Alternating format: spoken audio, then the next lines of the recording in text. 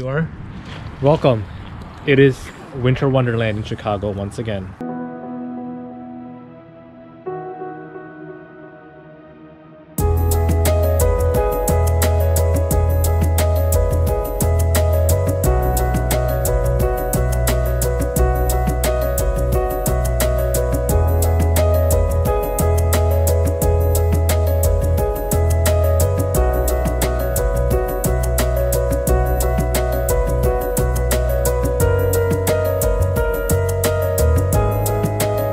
Hey, what's up everyone? Welcome back to my channel. This is Imran with Monster Gadgets and today we're talking about frame rates and what that means, how to use them, and yeah, let's get into it.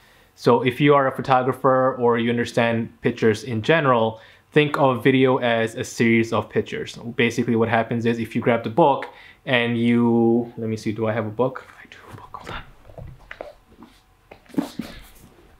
This is not my book, but we're gonna use it as an example. So if you've got a bunch of pictures together and you go like this through a book, it's going to illustrate uh, a, a, some type of emotion, if you will. So as long as the pictures are done the right way, if you're flipping through pages real quickly like this, you might see that animation or photo in motion, creating a sense of a video. And that's really what it is. So if you've got a camera that does 24 frames per second, 30 frames per second, 60 frames per second, 120 frames per second, and some cameras even out there, I know some of the, the new GoPro does 210 frames per second, I believe.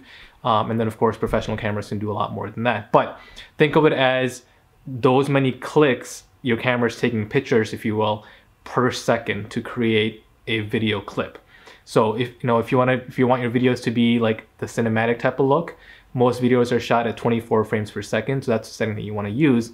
But if you get into some of the higher frame rates, for example, like the 30 FPS frames per second, uh, 60 frames per second, 120 frames per second, what that allows you to do is that allows you to slow your video down. So if you want to be able to capture slow motion, the faster frame rates that you have, the clear, crisp that video is going to be when you turn it down into slow motion. So if you're capturing it at 120 frames per second, that's what I capture most of my um, videos on for, for slow motion, then you'll be able to show that slow motion that much more clear, that much more crisp.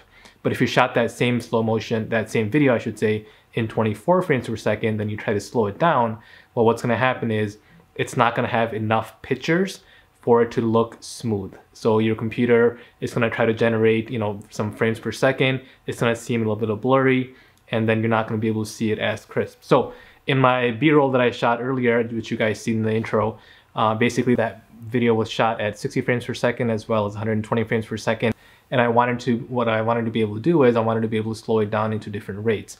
So I'll do a separate video on how you can combine the different frame rates that you use into one video and how to properly do that. I'll do that video next, uh, probably next week. But in general, you want to prep for what you're shooting. So if you know you're going to capture a moment that you want to be able to slow down, you want to turn that frame rate up, crank it up, so that way when you go into post, you know exactly what to do, how you're going to slow it down. And when you do slow it down, it doesn't look that much more professional, that much more crisp. But if you're shooting general video, for example, an interview of some sort, uh, or just normal video where people aren't really moving around a whole lot and you want to be able to capture audio, then you want to use either 24 frames per second or that 30 frames per second. Again, anything higher, 60, 120, yes, you can shoot at those frame rates and still be able to record audio and video, but really you want to be able to use those in moments where you want to use slow motion.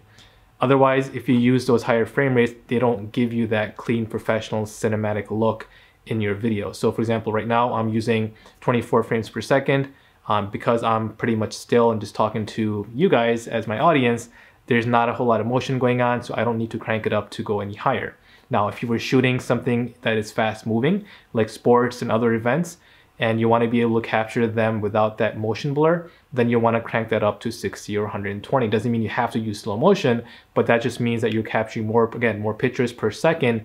So something that's in motion, it's going to seem that much more cleaner on a setting that's much higher. So as a quick recap, general video that you're doing this as interviews, everyday type of video, uh, with lot, without a lot of motion, you want to use 24 or 30 frames per second. If you want that true cinematic look, then use a 24 frames per second. But if you got a lot of fast motion, uh, sporting events, those type of things, or if you want to be able to post in post, slow your video down to slow motion, then you want to use 60, 120, or maybe even faster, depending on how you want to slow that video down. So hopefully this was helpful. I will go ahead and do another video next week on demonstrating how to combine those two different frame rates into post-production. Again, as you guys know, or you might know, I use Adobe Premiere to do all my editing. So I'll get into Adobe Premiere in that video, show you guys how to combine those rates, frame rates into one video so everything looks super, super smooth and your videos look professional. So, all right guys, hopefully you found that to be helpful. I do wanna quickly touch on the video I did earlier in the week on reaching 100 subscribers. You guys absolutely blew it away. I set up a contest for $100 giveaway, two $50 gift cards uh, to my subscribers and I will go ahead and link that in the video here on the card as well as in the description below. Check it out, but as of right now, we're sitting at about 210 subscribers.